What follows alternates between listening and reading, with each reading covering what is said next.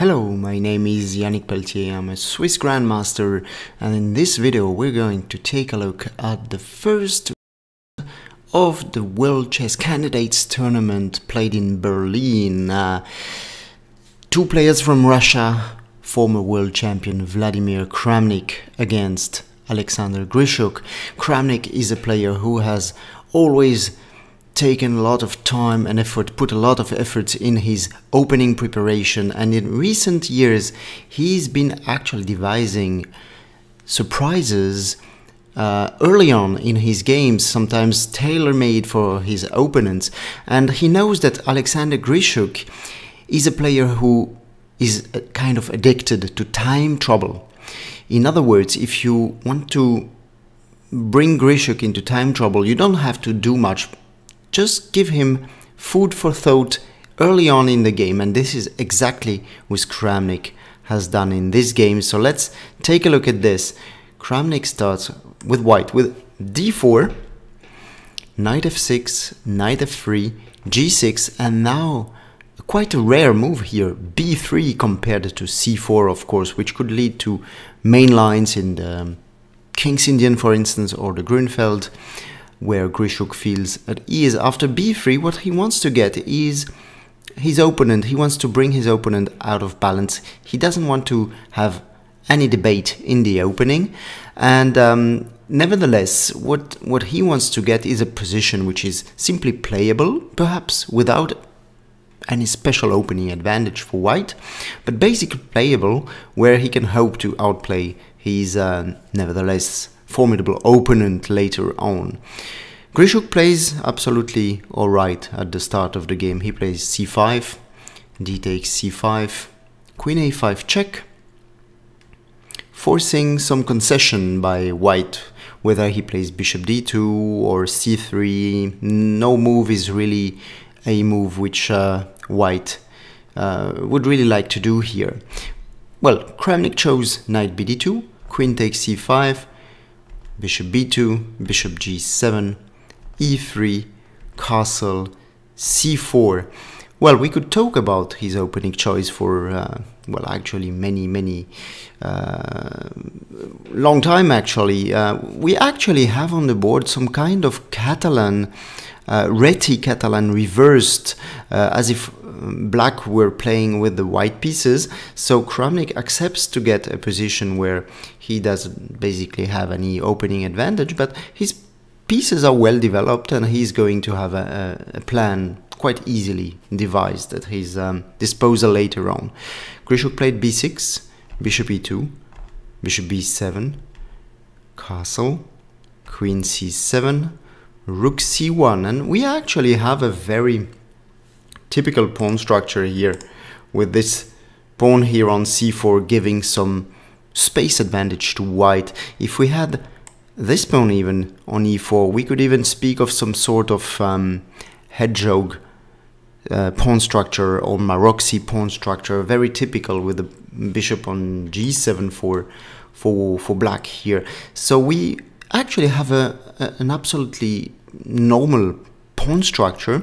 The only question is what are both sides going to choose as plans. Here, uh, Grischuk uh, went on very logically, but he could perhaps have tried to play knight c6 and then followed with maybe rook a d8, queen b8 and an early d5. That would have been a possible plan in order to try and equalize uh, concretely and possibly directly.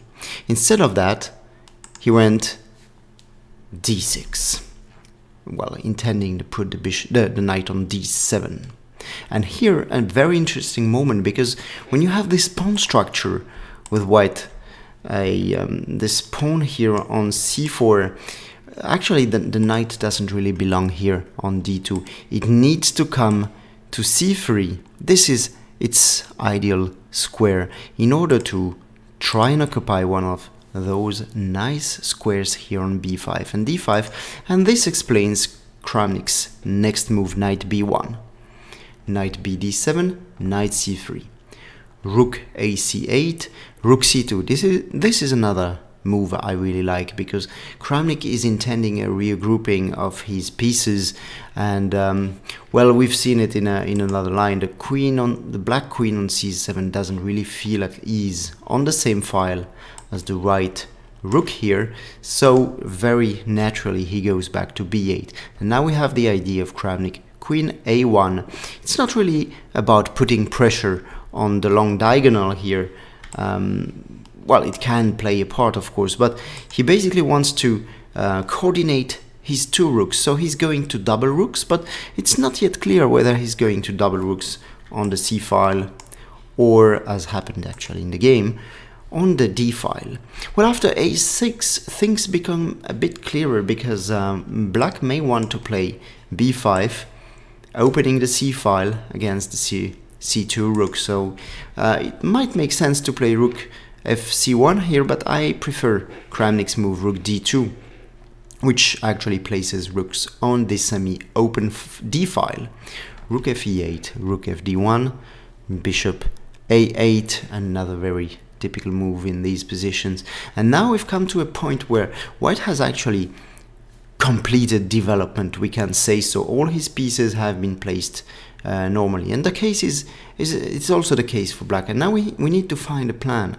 And I quite like the next move by Kramnik, knight g5. And actually, I, I was one of the commentator of this first round in Berlin on site together with Judith Polgar. And our thoughts diverged a bit on this move because I was saying that basically um, Kramnik's idea was okay, this knight is not going to stay forever on g5, of course, but it's going to be rerouted to f4 in order to try and control this important uh, outpost on d5. While um, Judith Polgar believed rather that White's intention, intentions were to play f4 or perhaps after h6 to go back simply to f3 and try and benefit later on of a slight weakness of Black's king. But in in fact, after knight after rook c5 here, um, Kramnik didn't play f4. This would be a bit committal and would also allow a move like b5. So Kramnik went back to h3, proving that my idea was right, or actually I had actually guessed his idea. b5 came nevertheless, knight f4, b takes c4, bishop takes c4. I mentioned at the start of this video that Kramnik's basic idea when choosing such an opening was to try and get Grischuk into time trouble and this is exactly what happened. Grischuk was very low on time already here after 21 moves. He was something like 8 7 minutes down. Uh, you know, so it's it's really already time trouble looming especially in such a complicated position. He went for rook g5. This is a risky choice which um, actually backfired. Mm, but considering um, that probably white is slightly better anyway, uh, taking trying to take his chance on the king side with an attack against g2 somehow. Look at the bishop on a8. Um, I think this was practically quite an interesting decision, um, and Kramnik was not far from going astray later on. Knight cd5. Here I think black should have taken on d5. Bishop takes d5, bishop takes b2, queen takes b2, knight f6. Bishop takes a8, queen takes a8. When here, let's say that this position can be assessed as very, perhaps very slightly better for white, but at first he needs to uh, take some measures against um, those ideas against g2 so he can't immediately play something like rook c1 rook c2 because then e5 would come and this would be quite terrible. So i think this was the best continuation for Grischuk in this position. Instead of that he went really for full, com uh, full complications knight e5 bishop e2 is normal and knight e4 seems attractive both knights of black jumping to central squares, gaining tempi. This looks very logical, but in fact, all this will backfire, and Kramnik could have played rook c2. He said afterwards this would have been a logical continuation, but he wasn't really sure after e6. In fact, h4 and white is is actually um, taking over here. Is getting uh, the better position. But in the game, rook d4 was actually okay as well.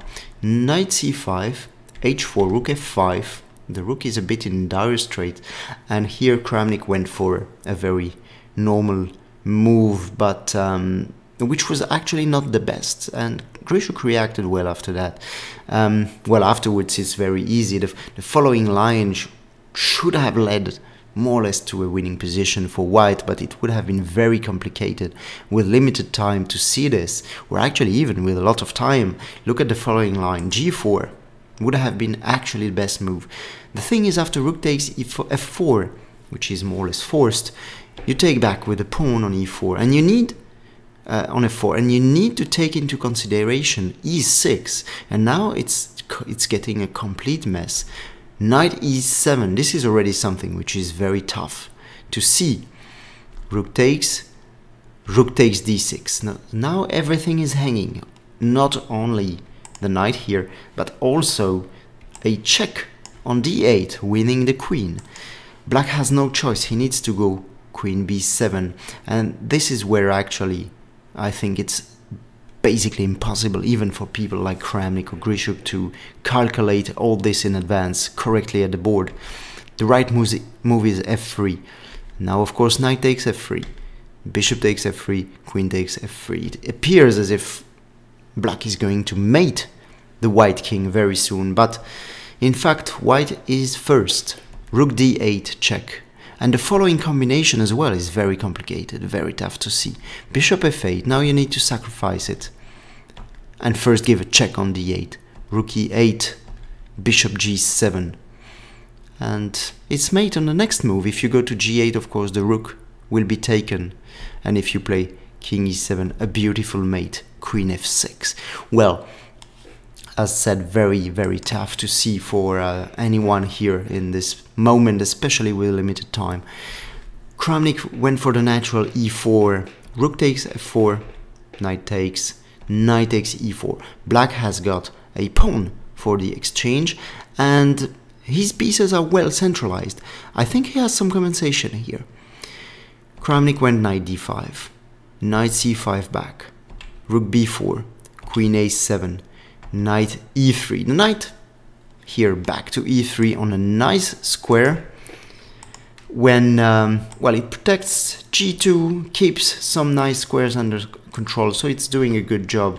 But after a5, rook b5 here, actually Kramnik already understood that positionally black has got compensation. And this is why after knight e6 he this he took a very practical a very strong practical decision actually not to allow these knights to jump anymore. He gave back the exchange on e5 securing actually an edge here after bishop takes e5 queen c5 bishop takes g7 knight takes g7 white's pieces are slightly better placed, more centralized, except the queen for the moment. Look at the knight here on e3, the bishop and the rook, all occupying nicely centralized squares. The same cannot be really said about the knight on g7. This problem will be actually highlighted later on in the game. Well, actually I said except the queen, the white queen is not centralized. This is why Kramnik played queen d4, thus exchanging black's most active piece, the queen on c5. Takes, takes, bishop c6. Otherwise, the white rook would have entered here to d7. Now a good move. Actually, Kramnik would like to occupy the c-file with his rook, but he can't go here immediately because of bishop b5. This is why he went back to d2. Here the best move clearly for, for black would have been um, asking the knight are you happy there on g7? The knight would have said, no, no, no, not at all. I need to go back to the center. e6 is my square. This is where I have to go. Still, white is slightly better after knight c4, but this would have allowed Grischuk to fight much more uh, in a much more resilient way. than rook b8. Well, we'll see his idea, but actually it proved insufficient. Rook c2, bishop e8, pretty passive actually. Rook c7, forcing king f8. Well, forcing because if you play a4, playing for counterplay immediately, then pawn takes a4, check, king h2. If you take here on a4, I can take the pawn on e7. And well, it's getting tricky actually. Um, it looks as if black is equalizing after rook b2 because he's gonna gain back the pawn here, bishop f3. Um, rook takes a2, but things are more complicated and you can see that even f2 is hanging. The rook can take it here next move. But the computer shows that uh, white is still better. Rook a7, thanks to the spin here.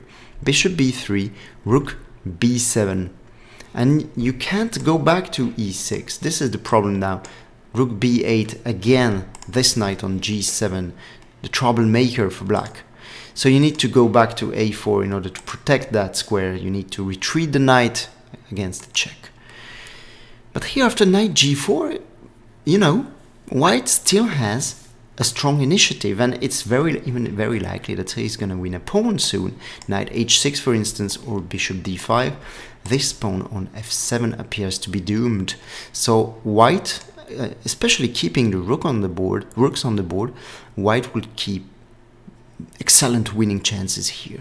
So king f8 especially in time trouble appears to be very sensible very natural. Rook a7 a4 b takes a4 rook b1 check. 40 40th move has been reached. Time control uh, has been passed. So Grischuk had time now to think but it appears that this endgame is very tough. And well king h2 perhaps should have gone to b2 immediately but the problem is bishop c4 here and even if white loses f2 the a pawn i mean the, the one which is further advanced on a5 now is very dangerous. You can't really get back behind the pawn with this rook here. How do you want to do that? This is hardly possible. This bishop plays a very good job here. Um, keeping a2 under control and everything. So um, it's you know perhaps a bit early to speak about a winning position for white, but it's very close to that. In fact, rook b4 is no improvement to this line. Here Kramnik played a5. Rook takes h4, check. King g1. This is important to go to g1. You know, if you go to g3, you'll be subject to some kind of check on, if, on f5. This is not something you want to allow. Rook a4, bishop c4 again. And there is a problem for, uh, for black that um, the rook will not be able to maintain itself behind the a pawn because they you know, white just wants to play basically bishop b3. And if you play rook a3, there will be knight e2 or knight c4 winning the rook. Well, Grischuk played bishop c6, but this hastens the end here after rook c7. The bishop doesn't really have any good square to go because of rook c8 check, so Grischuk just went back to e8, a6, knight h5, knight d5 well on that moment when the knight finally went out to h5 after knight d5 it appears that white is completely winning he's well of course he can take on e7 soon but he can also play uh, knight b6 followed by a7 and a8 queening the pawn forcing black to give up his rook. So the position is obviously completely winning. Um, in short what can we say? Um, Kramnik's um, opening idea, strategy has worked extremely well, I think, because he's uh, he's brought the game into unknown waters when Grischuk needed to think from from the scratch, basically from scratch, and that means Grischuk loves to take his time. Grischuk ended up in time trouble already around move 20, and um, you know, at some point you'll need to you know you'll need to calculate lines very accurately. Um, and for that you need a lot of time. Grischuk didn't have, he lacked this time on critical junctures, and this actually, um, you know, caused his defeat eventually, together, of course, with Kramnik's beautiful technique. Thank you for your attention. Um, of course, I'm inviting you to like this video and subscribe to my channel. Thank you.